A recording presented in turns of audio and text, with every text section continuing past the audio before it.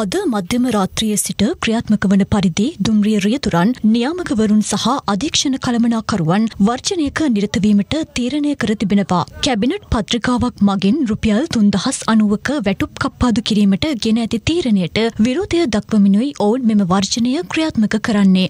මෙම තීරණය ඉවත් කර ගන්නාතෙක් වර්ජනය ක්‍රියාත්මක කරන බවයි දුම්රිය ලොකෝමෝටිව් එන්ජින් රියදුරන්ගේ සංගමය සභහපති චන්දන වියන්තුව පැවසුවේ. දුම්රිය රියදුරු දුම්රිය නියාම නාමක හා අධීක්ෂණ කළමනාකරු යන තනතුරු වලට අදාළව මූලිකවටම රුපියල් 3090ක ප්‍රමාණයක් අඩුවෙන් සිටින පරිදි රාජ්‍ය සේවා කොමිසම සභාවයි මාධ්‍ය මණ්ඩල පත්‍රිකාවක් මගින් අනුමත කළා. මේ අඩු වැටුපක තියලා තිනවා. දුම්රිය දෙපාර්තමේන්තුව විනාශ කිරීමේ අරමුණෙන් තමයි මේක කරන්නේ. නැත්නම් මොකද අනිවාර්යෙන් දන්න මේක වර්ජනයකට යනවා කියලා මෙහෙම කරෙන් පස්සේ දුම්රිය රේදුරු දුම්රිය නියාමක හා අධීක්ෂණ කළමනාකරු කියන තනතුරු තුන එකතු වෙලා තමයි මේ වර්ජනය සිදු කරන්නේ. අද රෑ 12 ඉඳලා අපි මේ ගැටලුව විසඳනකම් මේ වර්ජනය කිරීමට බලාපොරොත්තු බලාපොරොත්තු වෙනවා.